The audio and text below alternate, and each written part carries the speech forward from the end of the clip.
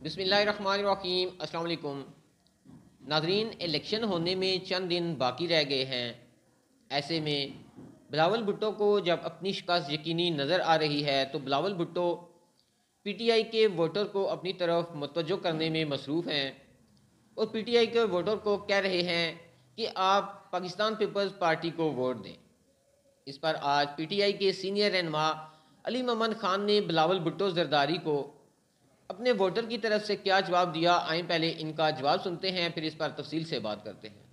ये दिन भी पीपल्स पार्टी पे आना था कि पीपल्स पार्टी के बाद जियाले कम हो गए, जो खिलाड़ियों की ज़रूरत पड़ी है।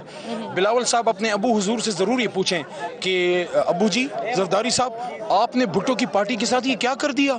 मुझे पाकिस्तान की नगरी नगरी करिया करिया जाके पीटीआई के कारकुनान से वोट मांगना पड़ रहा है। बाकी जहाँ तक उनकी हमदर्दी का ताल्लुक है, वो अपनी जगह मैं अप्रिशिएट करता हूँ। लेकिन उस वक्त बिलावल जरदारी साहब कहाँ थे जब लाहौर में ज़िले शाह शहीद हो रहा था? वो वज़ीर खारजा थे।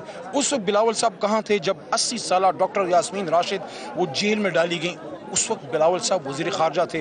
उस वक्त बिलावल साहब कहाँ थे? जब हमारी खवतिन के साथ ज्यादतियाँ की गई, जेलों में डाला गया, चादर चार दीवारी का तकदस पामाल किया गया। अगर उस वक्त वो बात करते, बहसीत वज़ीर खारजा और हुकूमत में वो मौजूद थे तो उनकी बात का कोई असर भी होता। अब तो इलेक्शन स्लोगन है और अवाम जरदारी साहब को और बिलावल साहब को खुद जानते हैं। सही। अच्छा आपने बाजोड़ वाले वाक़े की बात की, रेहान जेब के हवाले से। तो जैसे ही ये कत्ल होता है उसके बाद पीटीआई की तरफ़ से एक ट्वीट होता है आपके जो आपका ऑफिशियल अकाउंट है वहाँ से। और बाद में पता चलता है कि उस इलाके से तो आप लोगों की तरफ़ से कोई और उम्मीदवार था। और ये पहला वाक़ नहीं अली भाई इससे पहले भी कई सारे ऐसे वाक़ात हो चुके हैं कि पीटीआई की तरफ़ से ट्वीट किया जाता है और फिर वो गलत खबर होने की वजह से ट्वीट को डिलीट कर दिया जाता है। और यही कुछ रेहान जेब के मामले में भी हुआ है। रेहान जेब की अल्लाह मफरत फरमाए हमारा एक जवान था और बहुत यंग बहुत ब्राइट उसकी आँखों में मुस्तबिल के ख्वाब थे। वहाँ से हमारे एम एन ए थे गुलजफर खान। तो गुलजफर खान को टिकट रिपीट हुआ है क्योंकि वहाँ से पिछले 2018 में गुलजफर खान साहब एम एन ए बने थे। रेहान जेब खान साहब जो है वो पी टी आई के यंग लीडर थे और टिकट उनको नहीं मिल सका लेकिन होपफुली उनको मुस्तबिल में कहीं एडजस्ट वो कर लेते। लेकिन टिकट होल्डर हमारे गुलजफर खान थे लेकिन रेहान जेब खान पी टी आई के बहुत ही पुराने और बहुत ही जानसार वर्कर थे। हम्म। और उनकी शहादत में सिर्फ़ पी टी आई नहीं पूरा बाजवड़ पूरा खैबर पख्तूनख्वा जो है वो उदास है। और अभी आप यहाँ एक और जलसे को भी कवर करके के आई हैं, वहाँ भी हमने दुआ की है। यहाँ भी अभी हम उनके लिए दुआ करेंगे और पूरा खैबर पुख्तनख्वा इस वाक़े पे मगमूम है। हाँ सही। अच्छा मुझे अली भाई एक और बात बताइएगा।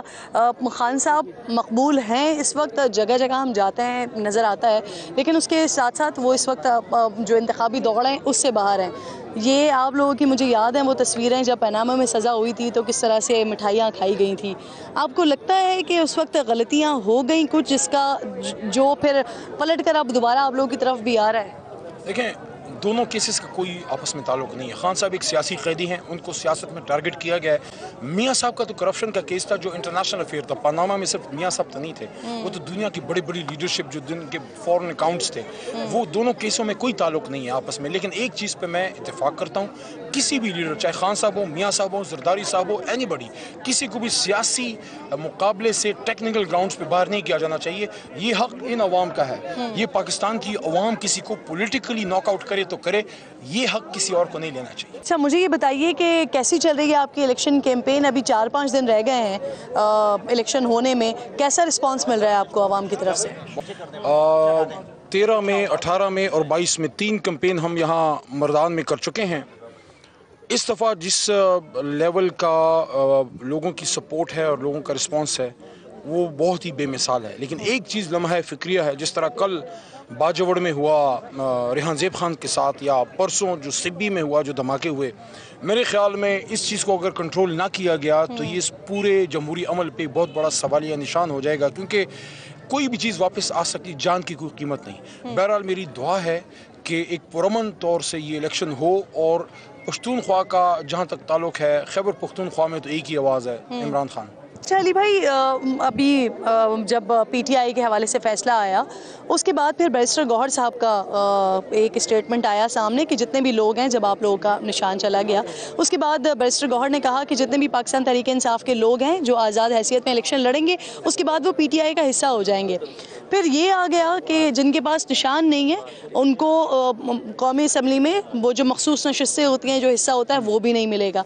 तो अब आप लोगों को डिसाइड करना होगा कि इलेक्शन हो जाने के बाद आज़ाद उम्मीदवार किस पार्टी का हिस्सा होते हैं? तो इसके लिए ऑब्वियसली अब आपको कोई अगली हिकमत अमली बनानी होगी क्योंकि 10 से 12 दिन होंगे आप लोगों के पास किसी भी जमात का हिस्सा बनने के लिए। तो क्या है आपका प्लान बी इसमें दो तीन बातें सबसे अहम बात यह है कि अली मोहम्मद ने या ज़ाहिर शाह साहब ने या हमारे जितनी भी बेशुमार मेंबर्स ने डॉक्यूमेंट्स जमा किए हैं आप जब इलेक्शन कमीशन में अपने कागजात नामजदगी जमा करते हैं बयानी हल्फी देते हैं कि मैं इस जमात का मेंबर हूँ।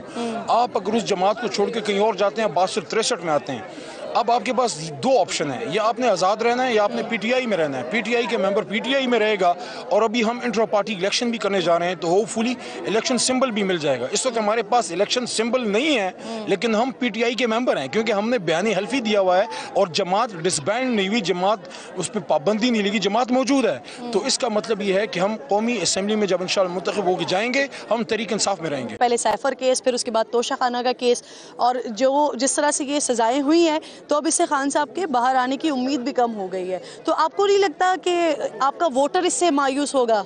साहब को एक सजा उन्होंने साइफर केस में दी। कल वो दूसरे केस में उन्होंने सजा दी है खान साहब को। लोग ज़्यादा चार्ज हो गए हैं। अच्छा। दस से पंद्रह परसेंट बंदा अब्जॉर्व ज़्यादा निकलेगा। लोगों में एक तरह से एक गुस्सा है। उसको हमने ये कंट्रोल किया है कि आपने पुरतशद नहीं होना। आपने जलाओ गिराओ नहीं करना, आपने कानून को हाथ में नहीं लेना, आपने पुरमन सियासी इंतकाम लेना है और वो है कि जुल्म का बदला वोट से। अली मोहम्मद ख़ान की गुफ्तु सुनी। अली मोहम्मद ख़ान ने बिल्कुल ठीक कहा कि मर्दान में इस वक्त हर तरफ़ पीटीआई की गूंज है और आवाम की एक ही आवाज़ है, इमरान खान इमरान खान।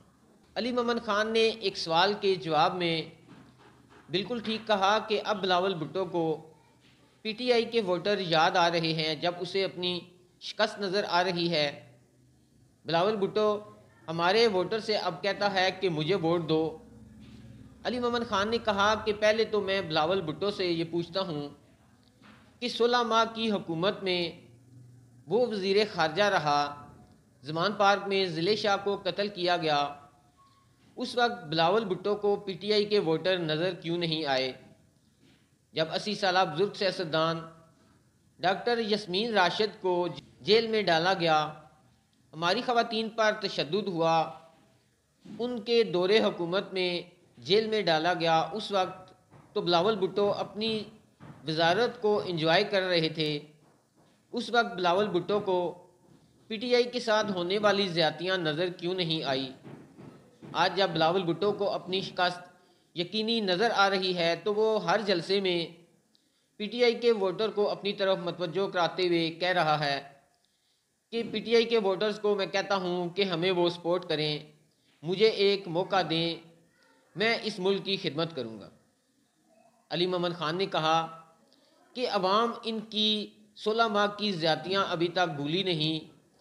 ये अवाम को बेवकूफ़ बनाना चाहते हैं, मगर अवाम इनकी मकारियों से अब वाकिफ़ हो चुके हैं। यही वजह है कि आज आवाम किसी भी दूसरी पार्टी को वोट डालने के लिए तैयार नहीं है। वो सिर्फ़ और सिर्फ़ इमरान खान को अपना नेक्स्ट वज़ी अजम देखना चाहते हैं।